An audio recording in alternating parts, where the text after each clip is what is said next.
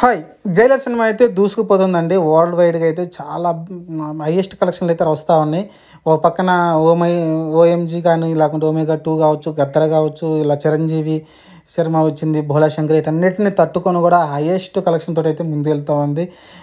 Sunday పూట కూడా దాదాపు ముప్పై కోట్ల పైనే నెట్ వసూలు చేసింది. ఆల్మోస్ట్ ఇంకా అనౌన్స్ చేస్తున్నారు మూడు వందల కోట్ల గ్రాస్ అయితే దాటిందని చెప్తున్నారు ఈ నాలుగు రోజుల్లో. అంటే మూడు వందల కోట్లు అంటే నియర్లీ ఏడు డెబ్బై కోట్ల గ్రాస్ డైలీ వసూలు చేసినట్టు మనం తెలుసుకోవచ్చు. అల్టిమేట్ అంటే సూపర్ ఎక్స్ట్రాడినరీ భలే అసలుకి సినిమా అయితే. ఎందుకంటే ఒక పక్కన ఓం ఓఎంజీ కూడా అంతగా నచ్చలేదు ఎవరికి. ఓమేగా టూ కూడా ఎవరికి నచ్చలేదు. అలానే బోలాశంకర్ కూడా ఎవరికి నచ్చలేదు. గద్దర్ కొంత రకాల బాగా ఆడుతుంది ఇంకా జైలర్ కదా అడ్వాంటేజ్ తీసుకుంది. తెలుగులోనూ కన్నడంలోను తమిళలోను విభత్సంగా ఆడేస్తుంది. సాలిడ్ కలెక్షన్లు అయితే రాబడుతుంది. బోలాశంకర్ అట్టర్ ప్లాప్గా నిలవబోతుందని క్లియర్గా అర్థమైపోయింది. ఆ అడ్వాంటేజ్ జైలర్ తీసేసుకుందండి. ఆ జైలర్లో నెల్సన్ చేసిన మ్యాజిక్ అందరిని అయితే చాలా నవ్విస్తుంది. నవ్వు ఉంది దాంట్లో ఒక అలానే ఎమోషన్ ఉంది అలానే ఒక మంచి ఫైట్స్ ఉన్నాయి. ఎక్సలెంట్గా ఉంది సినిమాని అయితే భలే టేకింగ్ చేశాడు సినిమాని అయితే సెకండ్ హాఫ్లో ఒక హాఫ్ నుంచి ఎండింగ్ వరకు కొంచెం సాగదీశారనిపించింది కానీ ఆ తమన్నా పట్టదంతా కానీ జనాలు అయితే రిసీవ్ చేసుకున్నారు అది కనిపించలేదు.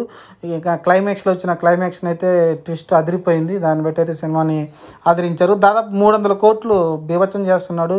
ఇంతకుముందు ఫాస్ట్గా తమిళ సినిమాలు ఇండస్ట్రీలో ఇంత ఫాస్ట్గా కలెక్ట్ చేసిన సినిమా ఉందంటే అది జైలర్ మాత్రమే. ఇంతకుముందు ఇతని పేరు మీద ఉంది టూ పాయింట్ ఓ. తెలిసిందే కదా అక్షయ్ కుమార్ రజనీకాంత్ చేసింది శంకర్ డైరెక్షన్లో నాలుగు వందల కోట్లు ఉంది అది ఆ ప్లేస్ని అయితే ఈజీగా ఇది టార్గెట్ చేసేసిందండి.